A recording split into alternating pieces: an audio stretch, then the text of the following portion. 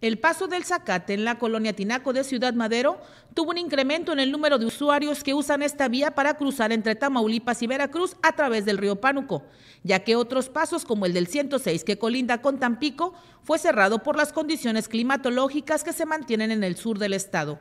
Los usuarios de este servicio en ocasiones deben cruzar a pie por el puente Tampico, pues no hay otro medio para llegar a su destino. O pasar el, el puente Tampico, solamente también a pie no hay otro transporte. Eh, si hubiera otro transporte de autobuses, pues eh, sería un beneficio para toda la gente de aquel lado. Nada más es por el río y por... Sí, son nomás aquí cerca, nomás el paso Padilla, Zacate y 106. Exactamente. ustedes tienen problema para... Para cruzar, exactamente. Sí. ¿Ante alguna emergencia, señora, pues ustedes prácticamente quedan atrapados de aquel lado?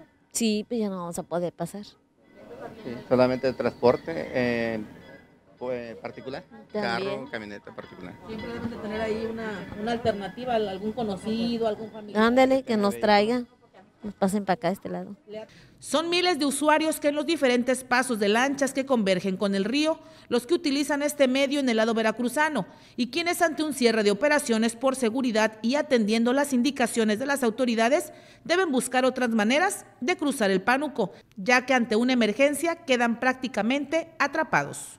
Al parecer, Capitanía de Puerto suspende eh, eh, todo aquel tipo de navegación pequeña sobre todo los cruceros de, las, eh, de los pasos de las lanchas, bueno, la corriente está, está fuerte y esto, bueno, pues impide un poquito la circulación de este tipo de navegación.